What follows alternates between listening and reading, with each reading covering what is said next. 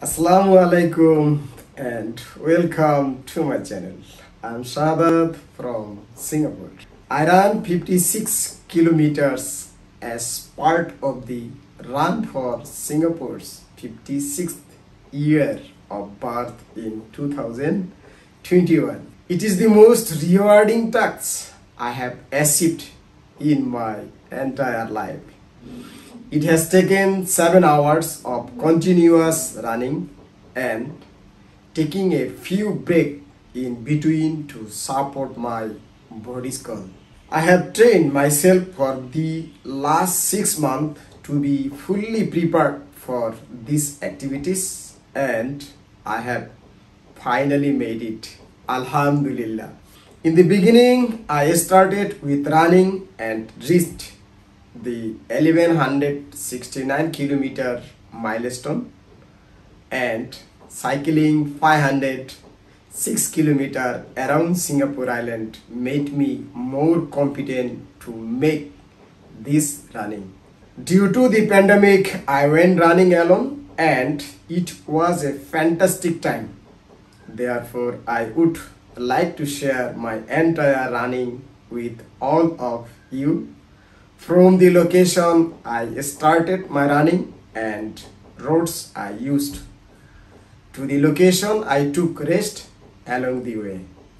Let's start watching real life videos. Thank you very much.